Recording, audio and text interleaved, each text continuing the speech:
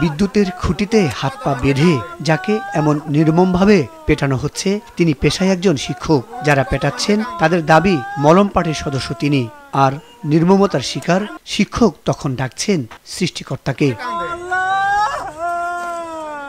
নির্মমতার শিকার এই শিক্ষক ঢাকার একটি বেসরকারি স্কুলের শিক্ষক। ঈদের ছুটিতে বেড়াতে গেলে লক্ষ্মীপুর শহরের আয়ুবালির পুল এলাকায় আচমকা তার হাত বেঁধে কেড়ে নেওয়া হয় মোবাইল ফোন ও মানিব্যাগ। তারপর খুঁটিতে বেঁধে চালানো হয় এমন নিষ্ঠুর নির্যাতন। আশেপাশের বেশ কয়েকজন মানুষ থাকলেও তাকে বাঁচাতে এগিয়ে আসেননি কেউ। নির্যাতনকারীরা চলে গেলে তাকে হাসপাতালে নেওয়া হয়। ঈদের পরের দিন আমার ছোট ভাই মোবারক কলোনি থাকে, তার বাসায় বেড়াইতে গেলাম। যাওয়ার পর আমি দুপুরে খাওয়া দাওয়া করে ঘুমাইলাম, এরপর সন্ধ্যার দিকে নাস্তা করে আমি একটু বের হয়ে আয়ুব আলী ফুলের কাছে গেলাম, এখানে চা খেলাম। ব্রিজের অপোজিটে যাওয়ার পর কিছু খোলাফাই আমাকে ফলো করতেছে, এটা আমি বুঝতে পারলাম। একটা ছেলে সামনে এসে আমাকে বলল, আমি আমার বাড়ি কোথায়? তবে আমি বললাম, আমার- বাড়ি স্টেডিয়ামের পাশে ঢাকায় থাকি। এরপর আমি দ্রুত গতিতে আমি বাজারের ভিতরে চলে আসি। ওদের গতিবিধি আমাকে সন্দেহজনক হয়েছে বাজার আসার পর আমি এক দোকানে এক মুরব্বীর সাথে পরিচিত হইতে চাইছিলাম যাতে ওরা আমাকে বুঝতে পারে যে আমার আত্মীয় যেন আমার কাছ থেকে সরে যায়। কিন্তু ওদের একজন বা দুইজন আমার আশপাশে ঘুরে ঘুরে করে এভাবে পরে আমি ওই দোকান থেকে আরেক দোকানে গেলাম। আমি যেখানে যাই তারাও সেখানে যায়। এক মুহূর্তে তারা সংঘবদ্ধ হয়ে আমার আমার ওপর আক্রমণ করে আমাকে বেঁধে ফেলে। বেঁধে ফেলে আমার ওপর প্রচুর নির্যাতন করে। আপনি ওদেরকে চিনছেন?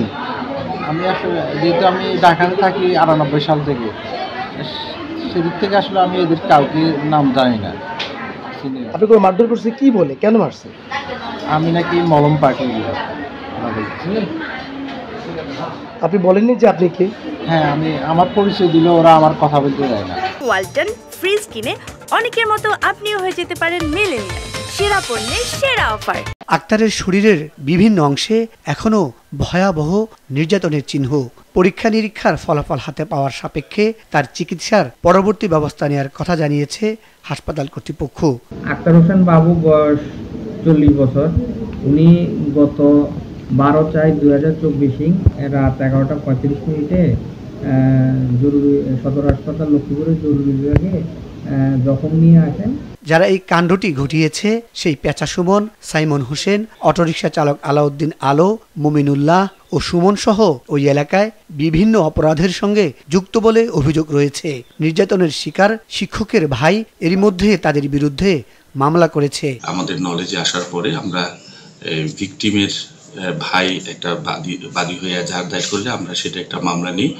সেই মামলায় আমরা আহ, ছয় জনকে আসামি করে মামলাটা দেওয়া হয়। সেই আসামি সে থেকে আমরা তিনজন আসামিকে গত রাত গ্রেফতার করে বিজ্ঞ আদালতে সোপর্দ করেছি আর বাকিদেরকে গ্রেফতারের চেষ্টা অব্যাহত আছে। প্রকাশ্যে রাস্তায় জনসমক্ষে একজন নিরপরাধ শিক্ষককে এভাবে মলমপাটির অপবাদে নির্যাতনের এই চিত্র সমালোচনার জন্ম দিয়েছে লক্ষ্মীপুর সহ আশেপাশের এলাকায়।